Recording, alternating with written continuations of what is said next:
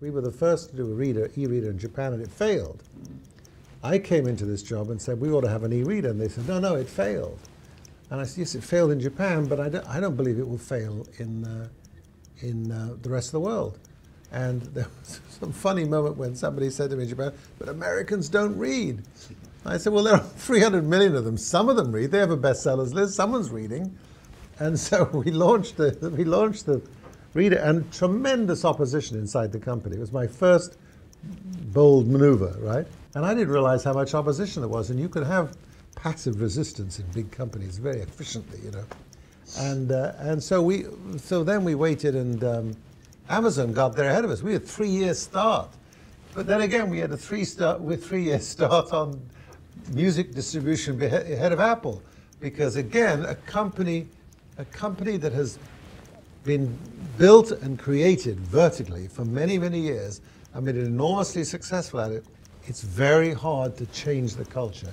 So what I've had a, a lot of time doing, and thank God for the recession, to create the sense of urgency was that in a digital age, you can't function vertically. You've got to function horizontally. And, um, and that's, and the e-reader is one of those that can do very many things.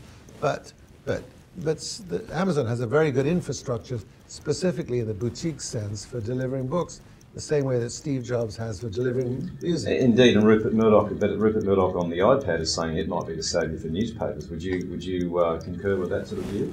And well, how, how would you like to play in that? Well, we are. We have a deal with Rupert Murdoch. We're delivering the New York Post on our e-reader and, and the Wall Street Journal and other readers and so forth. And does it, it, it adds to the volume of products able to deliver newspapers. Do I think everybody will walk around with a with an iPad under their arm? Probably not. But a lot of people will have one. There's a lot of people in the world.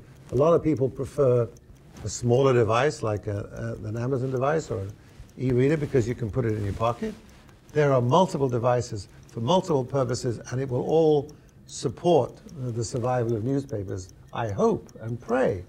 Uh, on the other hand, speaking as someone who's my age, the morning newspaper cannot die as far as I'm concerned.